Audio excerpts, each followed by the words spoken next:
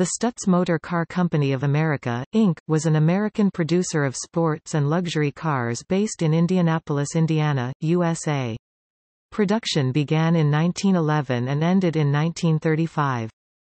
The brand reappeared in 1968 under the aegis of Stutz Motor Car of America, Inc., and with a newly defined modern retro look. Although the company is still technically in existence sales of factory-produced vehicles ceased in 1995. Throughout its history, Stutz was known as a producer of fast cars America's first sports car and, from 1924, luxury cars for the rich and famous.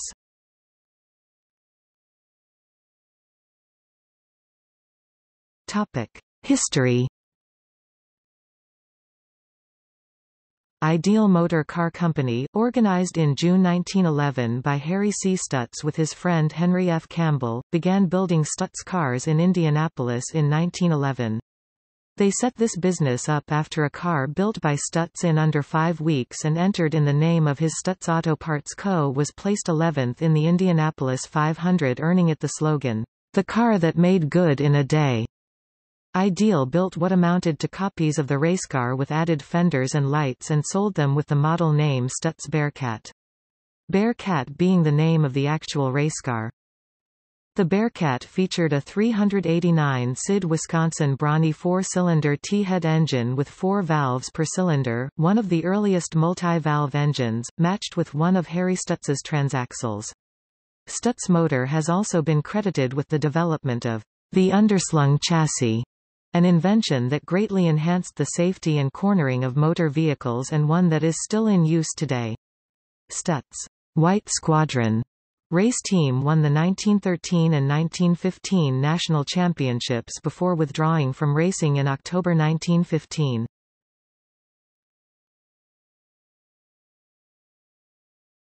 Topic. Stutz Motor Car Company of America, Inc. In June 1913 Ideal Motor Car Company changed its name to Stutz Motor Car Company of Indiana and Stutz Auto Parts Company it manufactured Stutz's transaxle was merged into it. To find new investment capital for expansion Stutz Motor Car Company of Indiana was sold in 1916 to Stutz Motor Car Company of America Inc. under an agreement with a consortium to list the specially organized holding company's stock on the New York Stock Exchange. As a part of the listing process the number of cars produced and sold since 1912 was reported to potential investors to have been as follows, 1913, 759, 1914, 649, 1915, 1079, 1916 first six months 874. Stutz, Campbell, Alan A. Ryan and four others were directors. Stutz was president and Alan A. Ryan vice president. Harry Stutz left Stutz Motor July 1, 1919 and went off with Henry Campbell to establish his HCS Motor Car Company and Stutz Fire Apparatus Company. Alan Aloysius Ryan (1880–1940), father of Alan A. Ryan Jr., was left in control of Stutz Motor. Ryan Sr., and friends attempted stock manipulation which in April 1920 proved disastrous. Stutz Motor was delisted. The Stutz Motor Corner was the last publicly detected intentional corner on the New York Stock Exchange. Ryan Sr., was bankrupted in August 1922 and disinherited by his father, Thomas Fortune Ryan. Meanwhile two friends of Thomas Fortune Ryan found themselves with large parcels of Stutz stock, Charles Michael Schwab and Eugene Van Rensselaer Thayer, Jr. (1881–1937), president of Chase National Bank. The new owners brought in Frederick Ewan Moskovics, formerly of Daimler Motorengesellschaft, Marmon, and Franklin, in 1923. Moskovics quickly refocused the company as a developer of safety cars, a recurring theme in the auto industry. In the case of Stutz, the car featured safety glass, a low center of gravity for better handling, and a hill-holding transmission called no-back. One notable advance was the 1931 DOHC 32-valve inline-8 called the DV32, DV for dual valve. This was during the so-called cylinders race of the early 1930s, when makers of some expensive cars were rushing to produce multi-cylinder engines. Stutz motor did not go to the V12 and V16 engines, but instead stayed true to its performance heritage with the dual overhead cam, inline-eight design as used on the sporting cars of the era, such as Bugatti, Alfa, Duesenberg and Miller. Brochures boasted 100 plus mph. In 1927, a Stutz set a world record for speed, averaging 68 miles per hour, 109 kilometers per hour for 24 hours.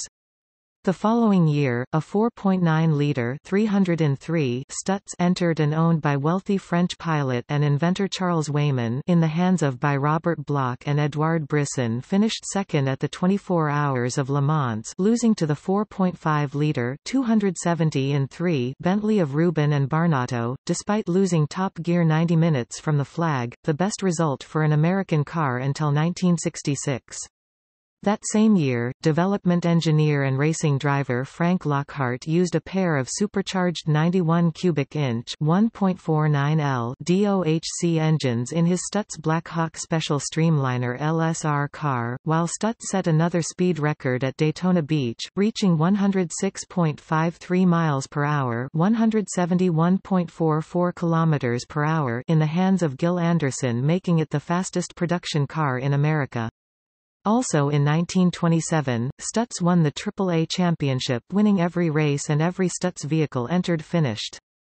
In 1929, three Stutzes, with bodies designed by Gordon Buehrig, built by Weymann's U.S. subsidiary, and powered by a 155 horsepower 115 kilowatts, 322 cubic inch 5.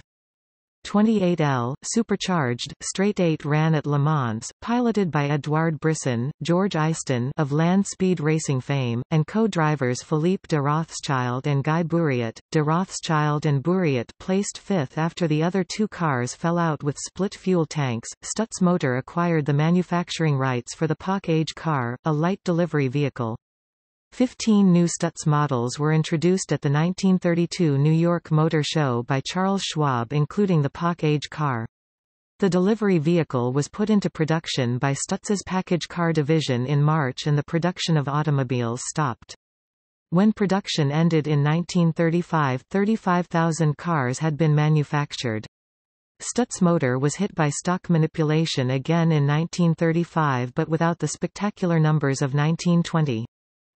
Stutz Motor filed for bankruptcy in April 1937 though its assets exceeded its liabilities. Creditors were unable to agree on a plan for revival and in April 1939 the court ordered its liquidation. The former Indianapolis factory is today known as the Stutz Business Center and is home to more than 80 artists, sculptors, photographers, designers, architects, and craftsmen.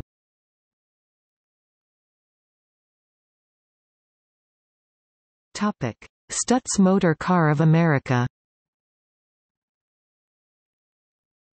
Virgil Exner had more luck with the Stutz name. In August 1968, New York banker James O'Donnell raised funds and incorporated Stutz Motor Car of America. A prototype of Exner's Stutz Blackhawk was produced by Ghia, and the car debuted in 1970. All these cars used General Motors running gear, featuring perimeter-type chassis frames, automatic transmission, power steering and power brakes with discs at the front. They were lavishly furnished, with all possible luxury features such as electric windows, air conditioning, central locking, electric seats and leather upholstery. On the sedans there was typically a console for beverages in the rear seat. Engines were large V8s, originally 6.6 or 7.5 litres 400 or 460 in 3, but by 1984 the Victoria, Blackhawk and Bearcat were using a 160 horsepower 120 kilowatts, 5.736-litre 350.0 in 3 unit and the Royale a 6.962-litre 424.8 in 3 Oldsmobile unit developing a modest 180 horsepower 130 kilowatts. This incarnation of Stutz had some reasonable success selling newly designed Blackhawks, Bearcats, Royale limousines, IV Ports, and Victorias. Elvis Presley bought the first Blackhawk in 1971, and later purchased a further three. Frank Sinatra, Dean Martin, Evel Knievel, Barry White and Sammy Davis Jr. all owned Stutz cars. The Stutz Blackhawk owned by Lucille Ball was for a time on display at the Imperial Palace Hotel and Casino Auto Collection in Las Vegas. However, owing to their extraordinary cost, Stutz was touted as the world's most expensive car, a Royale limousine costing $285,000 and a Blackhawk coupe over $115,000 in 1984. Production was very limited and it is believed only 617 cars were built during the company's first 25 years of existence 1971 to 95. Sales of Stutz began to wane in 1985 and continued to do so on until 1995. Warren Lew became its main shareholder and took over ownership of Stutz Motor Car of America, Inc. in 1982. Topic Stutz models Stutz Motor Car Company of America 1911–1925 Bearcat 1926-1935 8-cylinder Stutz Motor Car of America Neoclassic Automobiles 1970–1987 Blackhawk Coupe 1970–1979 based on the Pontiac Grand Prix 1980–1987 based on the Pontiac Bonneville 1979–1995 Bearcat convertible 1970 1977 a converted Blackhawk 1979 based on the Pontiac Grand Prix 1980-1986 based on the Pontiac Bonneville, Buick LeSabre or Oldsmobile Delta 88 Royale 1987-1995 based on the Pontiac Firebird and Camaro 1970-1987 Duplex, IV Port, Victoria sedan 197 Duplex 1977-1987 IV Port, based on the Pontiac Bonneville, Buick LeSabre or Oldsmobile Delta 88 Royale 1981-1987 Victoria Diplomatica, Royale Limousine Diplomatica, based on the Cadillac DeVille Royale, Super Long Limo 1984 Defender, Gazelle, Bear, Chevrolet Suburban-based armored SUV Gazelle, military SUV with mounted machine gun Bear, four-door convertible. Topic. In popular culture The Velvet Underground's 1970 song, Sweet Jane, includes the line, Riding a Stutz Bearcat, Jim, you know, those were different times. A short-lived 1971 American television series, Bearcats, featured a Stutz Bearcat as part of the show's premise, although the actual cars used were replicas of a 1914 Bearcat Custom built by car customizer George Barris. In the 1989 American film Parenthood, Jason Robards' deadbeat son gives him a model car. Robards exclaims with great excitement, A Stutz! In a September 2012 episode of Counting Cars, Barry White's former Stutz IV port was found and renovated. In the Happy Days episode, In the Name of Love, Howard Cunningham tells his son, Richie, about how Marion was in love with a man that drove a Stutz Bearcat and wore a raccoon skin coat before they were married. On The Simpsons, Mr. Burns owns a 1936 Stutz Bearcat, and he, Homer Simpson and Smithers use the car to get away from the FBI when they committed treason in the episode, The Trouble with Trillions. Grandmaster Flash and the Furious Five's 1979 song, Superappin', includes the line I will shock your mind in a new star Stutz, and if a Stutz break down, I make another choice, I will dog my grill in a new Rolls-Royce. Today Stutz models are very rare, as very few were produced, and are known to sell well over $100,000 worldwide through private collectors and auction.